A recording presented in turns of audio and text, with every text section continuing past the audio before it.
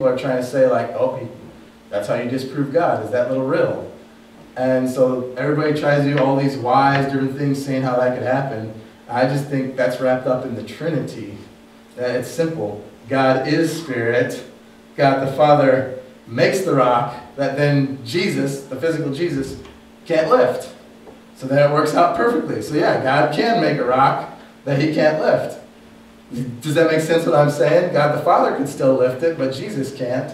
And so it's like a like just a very easy, simple way to kind of thwart that kind of philosophy that all these atheists try to throw. Does that make sense what I'm saying?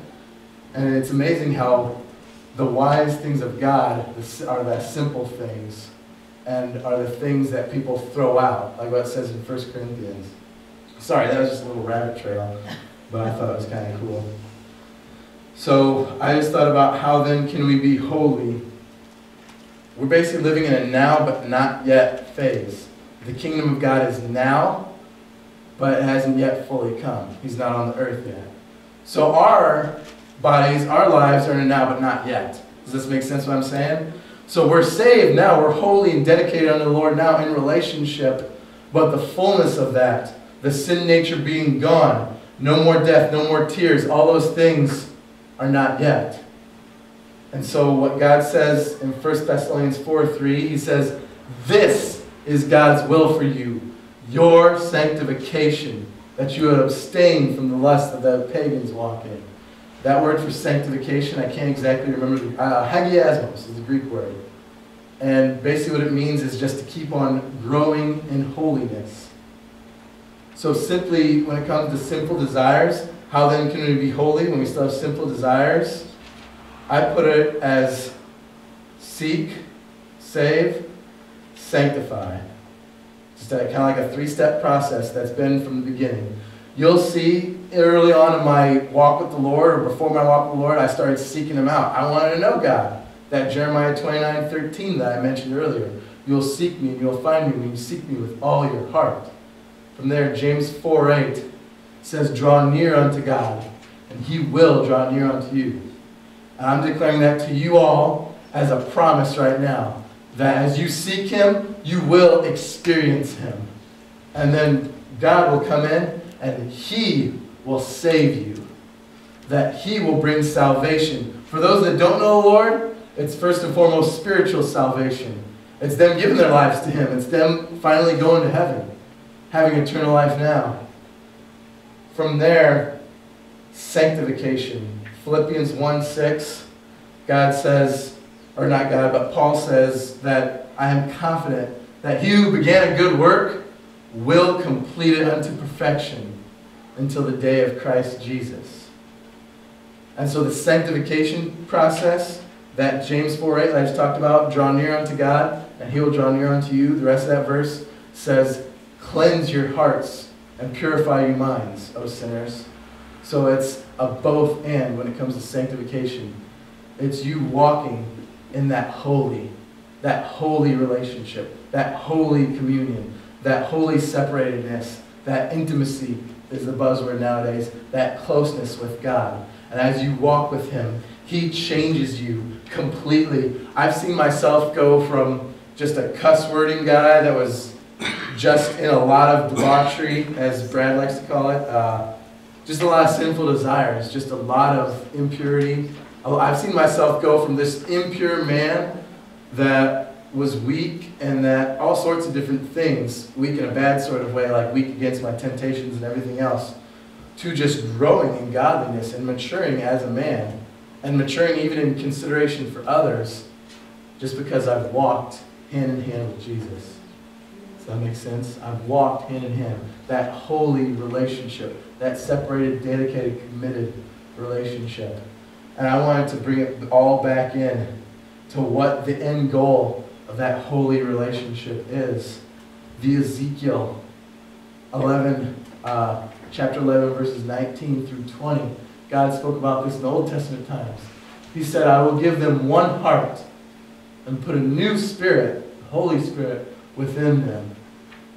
I will take the heart of stone out of their flesh and give them a heart of flesh, that they may walk in my statutes and keep my covenants and do them, then they will be my people, and I shall be their God. Hallelujah. That there's that Revelation 21 verse again. I've already read it off once. And then I was also thinking of actually you know what? No, uh, 1 John 3, 2 through 3.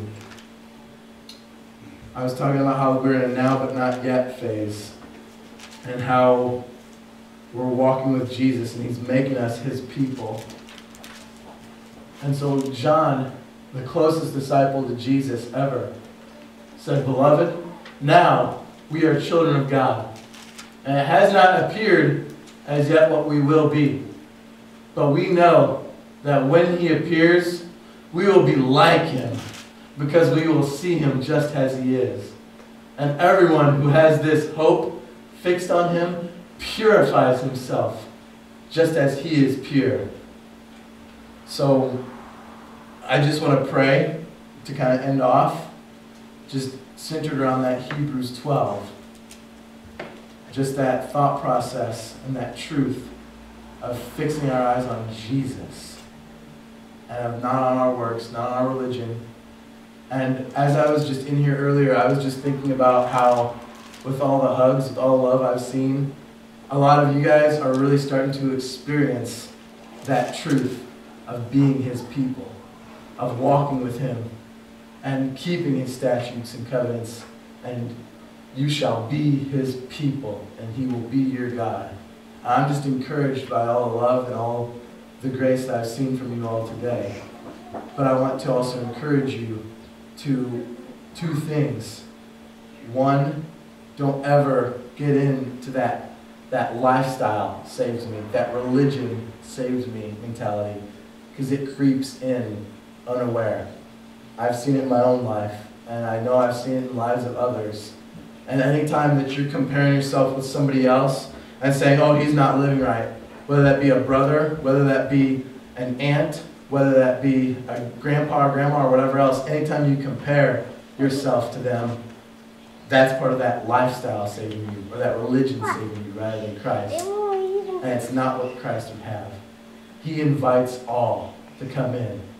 He invites all to that saving relationship, that sanctifying relationship, where your hope grows deeper in Him. Hallelujah. So I'm just going to go ahead and pray. And if anybody else feels like they need to pray, just if there's any sort of confession of sin, so that way you can get right with God or whatever else, I'm going to leave just like 30 seconds before I pray. You can just shout it out, whatever you feel like. If you feel like you need to do it in a more private setting, come see me or Mark after service. So, yeah.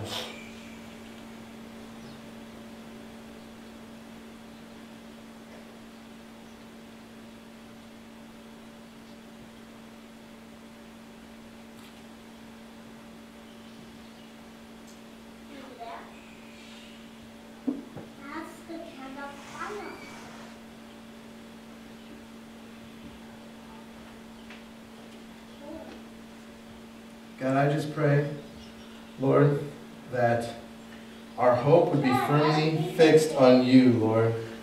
God, I just pray, Lord, that, that our gaze would be firmly fixed on you, Lord. And God, that we wouldn't mix the holy and the common. God, that we wouldn't mix who we are with who we were in our past life, Lord, before being saved. God, that we wouldn't mix who we are with what we thought was righteousness, that we wouldn't mix what you've claimed as righteousness with what we think is righteousness, but instead that we would truly do that Matthew 16 reality of giving up all, of saying that if, that if anyone desires to follow me, he must deny himself, take up his own cross and follow me. God, I pray that we would just give up our lives, that we would just give up our thought patterns and everything else for saving relationship, for life with you even deeper, Lord. God, a lot of people here are already saved, Lord. As far as in the spiritual sense, we're saved going to heaven. But God, we want to be saved from our, our wrong attitudes.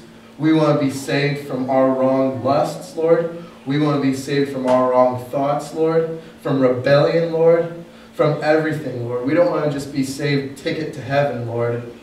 Because if you don't keep walking with Jesus after that, it's no longer a ticket to heaven. God, we want to be your people instead, Lord. So, God, I pray that upon each and every single person here.